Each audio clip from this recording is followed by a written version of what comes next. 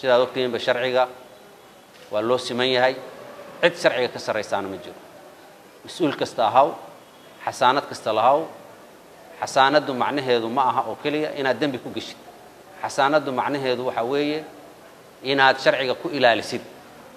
Haddii aad sharciga ku ilaalin weysana kolley sharcigu wuxuu qabaa in qof kastaaba uu sharcigu ka sarreeyo ka soo bilow madaxweyne ilaa qofka ugu hooseeya ee shaqaalaha dawladda waxaan rabaa inaan caddeeyo in ay jiraan mas'uuliyiin xildhibaano maalmahan ayaamahan dambe ku mashquulsanaa duminta dowladnimada iyo qarannimada soomaaliya iyagoo adeegsanaya dhaqaale ay ka heleen dalal ajnabi.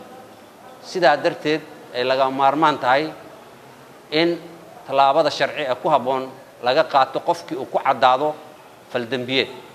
Waxaan maanta golaha shacabka guddoomiyaha golaha shacabka iyo baarlamankaba aan u gudbinnay.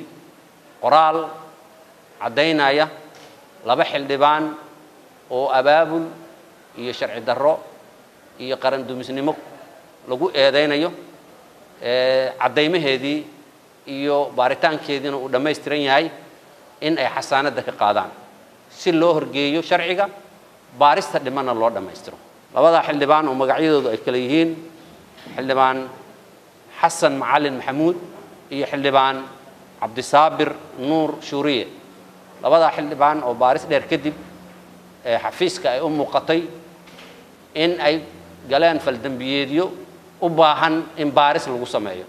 Cid kasta oo uu galo tuhun ah faldembiyeed mas'uul ha ahaado xildhibaan ha ahaado ama qof muwaadin ha noqdee in sharcigu uu iteegsanayo waxaa aada u batay inaan loo aaba yeelin kutumashada sharciga. Sidaa darteed xafiiska xeraalinta iyo hay'adda booliska qaranka soomaaliyeed khaas ahaan hoggaanka baarista dembiyada oo taliyaalkoodii oo dhan ay garab fadhiyaan waxaan ku waajibinayaa oo dhammaan imaqlaya in ay dhowraan sharciga cid kasta oo sharciga ku xadgudubtana in sharciga la hor keeno